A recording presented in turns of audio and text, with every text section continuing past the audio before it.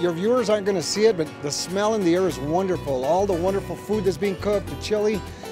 Man, and you're lucky we got great weather today. We're just so pleasantly surprised. There's folks from all over the city of Albuquerque coming down to the South Valley and the start of the Main Street area in this hub. So this is really a big influx for us. It, it's to bring attention.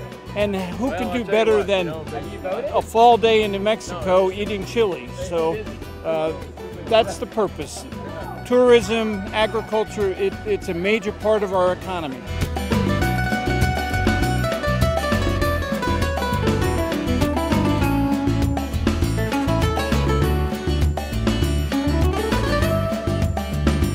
Number one, being here in the South Valley, we were about three blocks up the street where we originated back in 1951.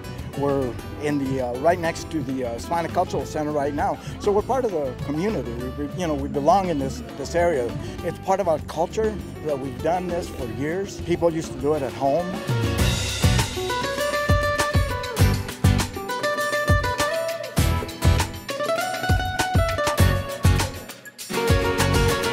The idea of agriculture and chili, and so this is a celebration of that. I gotta tell you, man, that was everything we ate was amazing. We actually ran out of chips and tortillas because we kept wanting to eat it all. It was great. It was perfect. And then the green chili at the end was really good.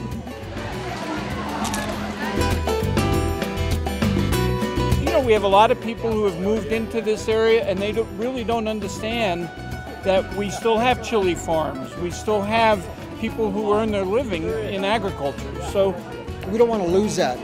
So what we want to do is encourage more farming and we want to encourage people to realize that you can make a living by farming and if not make a living, you can supplement your income with either gardening or farming.